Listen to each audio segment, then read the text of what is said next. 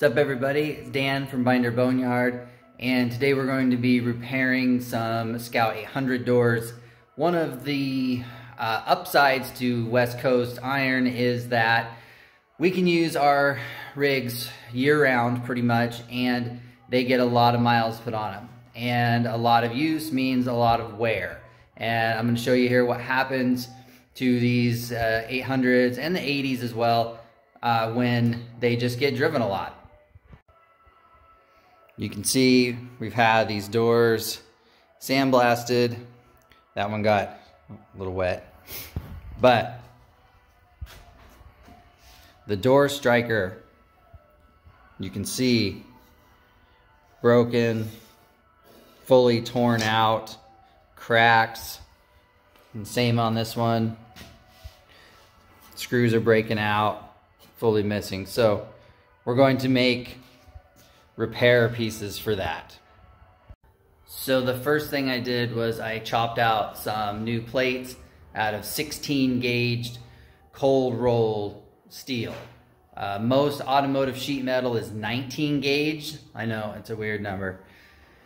Uh, we use 18 gauge cold roll on all of our external patches and things like that, but because the door striker is a heavy use, heavy wear item, uh, I wanted to go with something a little bit more sturdy, so 16 gauge cold rolled is what it got. So I cut out the piece out of my material and then I traced the cutout onto the door. That way you don't have to try and make a piece after you've cut that out. But uh, we're going to cut that out next.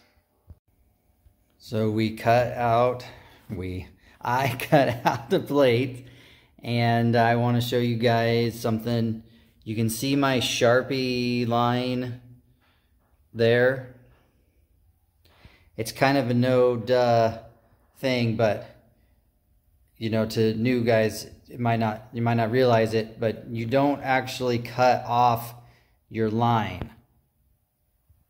When you are cutting out your shape, since you traced around the outside of the piece you already made, your line is actually a little bit bigger than the piece that you cut out.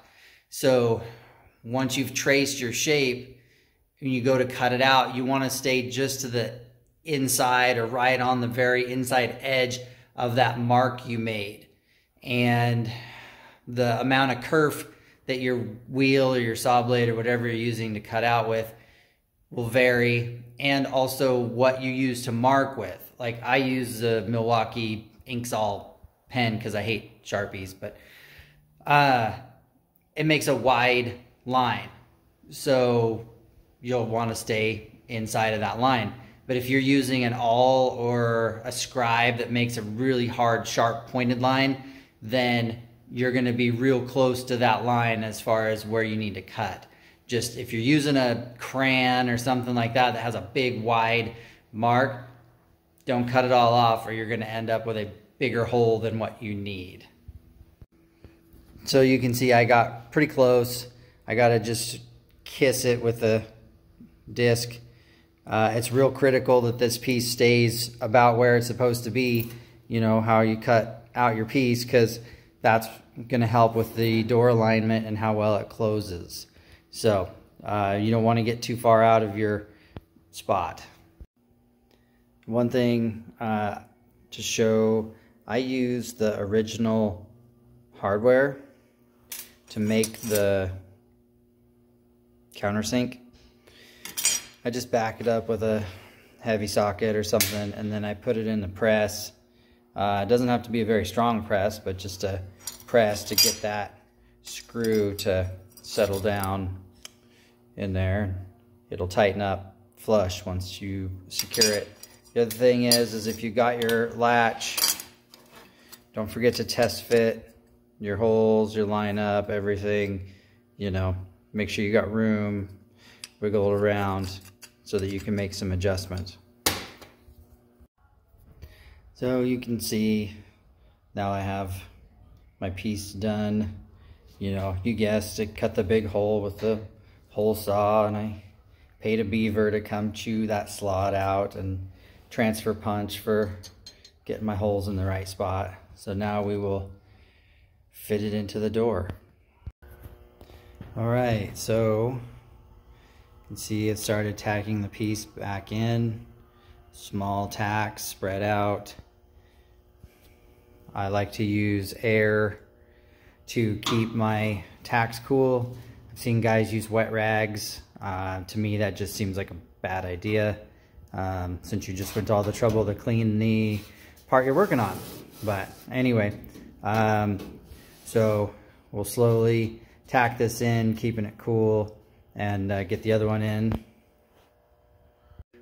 So I'll continue welding these in and start cleaning them up. So it's gonna take a little bit because you gotta go slow and keep it cool and uh, you know, take your time. So it's uh, gonna be a little bit, but I'll come back and show you guys what the mostly final product is gonna look like. There they are, welded in, cleaned up. Needs a little bit more, probably just kiss them with a hand file to make sure everything is perfect. And there you have it. Uh, it took me, with all the interruptions and everything, if I try to cut those out, I think I had five hours in that start to finish.